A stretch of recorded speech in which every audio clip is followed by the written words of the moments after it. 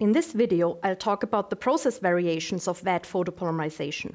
In the schematic and in the uh, movie we, or video, we have seen um, one particular approach to curing. And in reality, or in practice, there are really three different approaches used uh, that I show on this slide. We have uh, the approach A listed on top, which is what we've just seen, but we also have um, the process B and C, and I'll talk a little bit about these. So in approach A, uh, we have the XY mirror, and it traces, selectively cures the, um, the surface of the part onto the previous layers inside of a vat, and the platform is moving down. In uh, the schematic B, what you see is uh, a digital micromirror device that actually allows the laser to be pre-patterned into the pattern we need for one whole layer.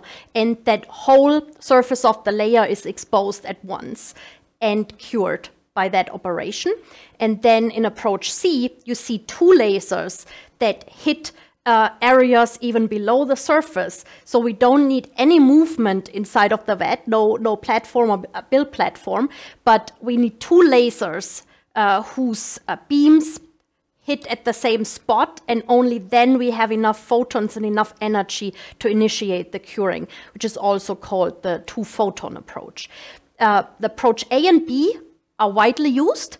Um, approach C has been mostly academic, but there have been a couple of cool approaches in the area of holographic 3D printing, so printing the whole uh, 3D volume at the same time, that we should all watch out.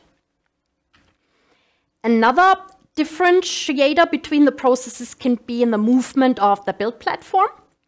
So build platform and platform move, build platform and build movement.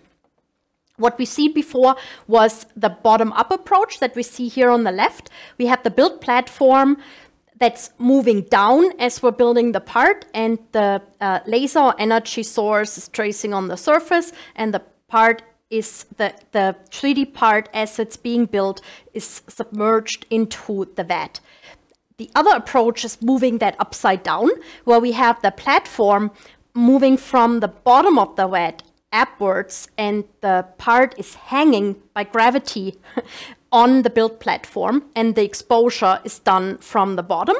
In this case, and that's very often the case, also with a DMD device, so we project a whole layer and um, we go through a coated glass slide of some sort and we cure the resin right at the interface between the glass and the already existing part, so that gap is important. Here, the, uh, to, to get enough energy in for the curing that we connect the new layer with the previous layer is very important.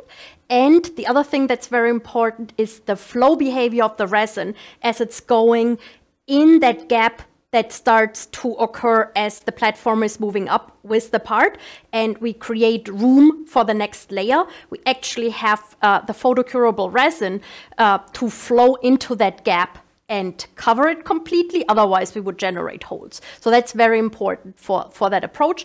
It has shown to, to be uh, rather fast, and there's no developments that we talk uh, about in another video.